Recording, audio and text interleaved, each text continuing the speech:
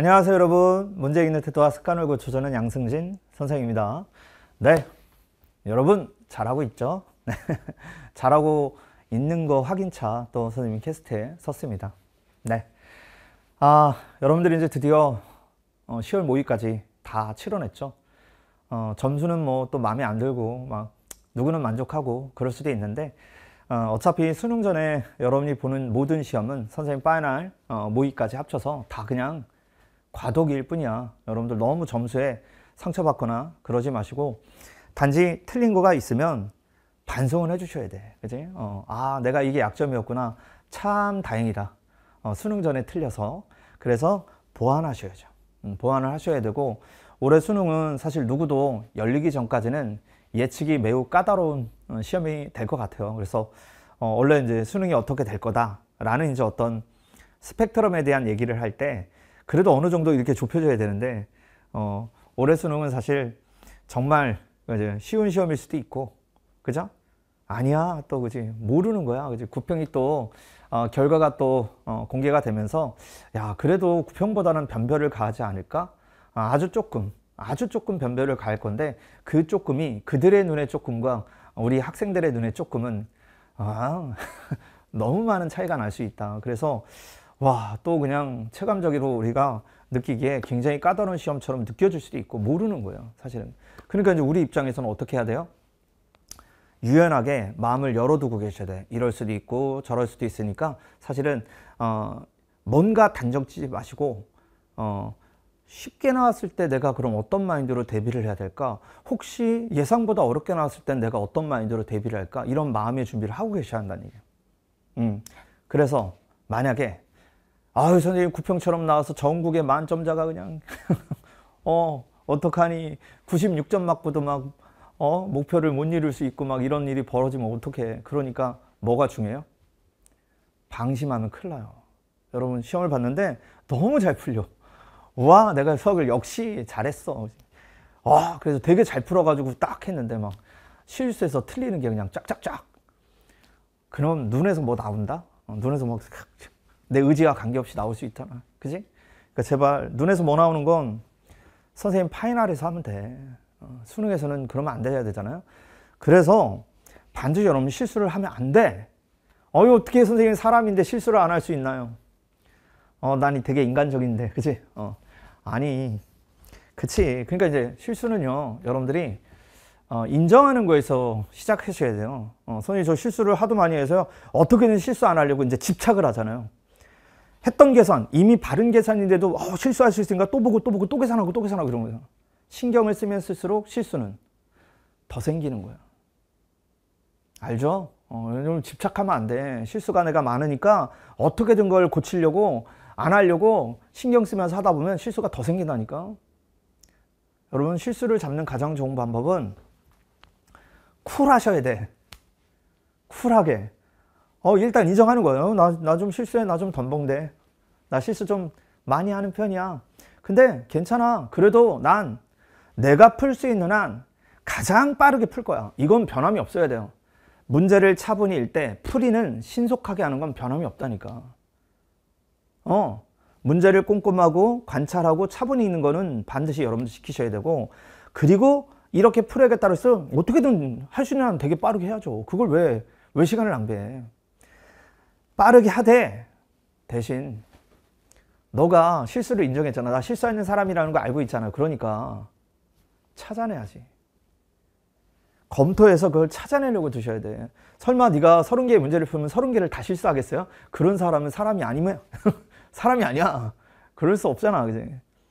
기껏해야 여러분들이 많아야 많아야 한 세 개, 한두 개 정도야. 그 안에서 이제 결국 여러분들이 실수를 걸 한다라는 거야. 그러면 잡아내야지. 그거 잡아낼 수 있다고 훈련해야지. 그래서 선생님이 파이널 코드에 영강에 올렸어요. 네. 검토하는 법. 검토를 어떻게 하는가. 그것도 전략이라니까. 선생님이 현장에서 어, 정말 시험지, 학생들의 시험지를 많이 보고, 야, 참 이런 실수 때문에 애들이 정말 눈에서 어, 나오겠구나. 어, 적어도 그런 일은 발생하지 않도록 이것도 훈련해야겠다. 이걸로 또 훈련을 시켜야겠다. 그래서 Final Code 영강으로 강의를 올려놨으니까 꼭 들어보셔요. 그래서 남은 기간 동안 실전 모의 풀때 적어도 만약에 시험이 매우 쉬웠을 때 나 절대 실수하지 않을 거야. 나 방심하지 않을 거야. 그래서 나 적어도 100분 시험 중에 5분 정도 정도는 검토하는데 활용할 수 있도록 훈련을 해달라는 얘기야. 그러면 적어도 여러분 수능 때 눈물 나는 일은 없을 거라는 거죠. 그지? 그런 준비를 하셔야 되는 거야. 그거 하시는 걸 말씀을 꼭 드리고요. 그리고 이제 두 번째. 아니, 아니, 선생님, 시험장에 갔는데, 아, 문제가 왜 이렇게 안 풀려? 아, 올해 수능 별거 아니라는데 왜 나한테는 왜 이렇게 어렵지? 그래서 앞분 풀다가 벌써 뭐야? 아, 내년엔 어떤 재종반이 좋은가? 어, 미리 포기하는 애들. 아, 그냥 옆에서 쓰면 뭐라고? 빡! 선생님 손 안 보였죠? 안 보였잖아, 그지? 어. 큰일 나, 그지? 어, 마인드가 어때야 되냐면, 어? 실제 수능장에서 문제를 푸는데 문제가 꽤 안 풀려, 잘 안 풀려. 당하지 마. 네가 안 풀리면 남들도 안 풀려. 그냥 어려운 시험인 거야. 간신히 끝까지 어떻게든 그거를 참고 견뎌내서 할 수 있는 데까지 해봐. 그래서 점수를 받았어. 역시 예상대로 점수가 안 좋아. 근데 상대적으로는 점수가 굉장히 좋을 수 있거든요. 모르는 거잖아요, 여러분. 그죠? 모르는 거야. 수능이 끝나고 시험이 끝나고 그 결과가 나오기 전까지는 모르는 거야. 그러니까 절대 중간에 포기하고 그러면 안 돼요. 마음의 준비를 하고 계셔야 된다는 얘기야. 혹시 그럴 수도 있으니까. 이런 마인드를 갖고 계셔야 된다는 얘기야. 아, 절대 미리 포기하지 말자. 앞부분이 잘 안 풀리면 패스하시고 할 수 있는 데까지 풀고 돌아와서도 다시 한번 집요하게 관찰해서 어차피 수능 문제는 분명히 뭐야?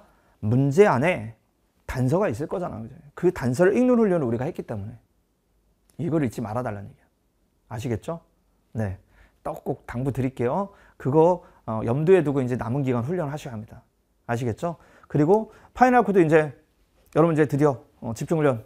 그치? 어, 당연히 나올 것 같은 주제만큼은 우리가 전략적으로 완벽하게 준비하고 들어가야 되니까 집중 훈련 하는 거잖아. 그죠? 근데 Final Code 보니까 여러분들 질문이 많아. 질문이 많아. 왜? 질문이 많다라는 건 막 어떻게든 하기 싫은 거 아니야? 어떻게든 덜 하려고 하는 거 아니야? 그것도 뭐 빡. 어.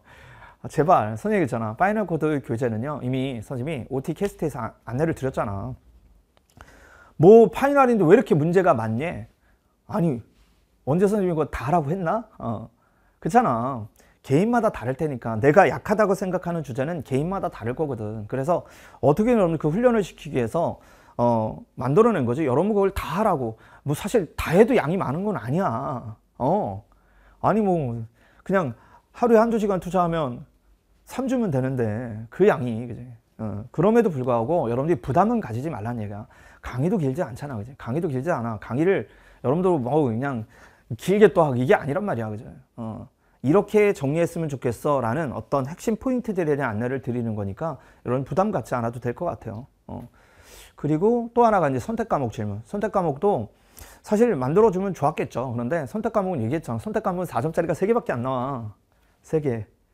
이미 final 모의고사의 3개가 이미 분류가 다 돼 있단 말이야. 어, 이미 주제가 분류가 다 돼 있어요.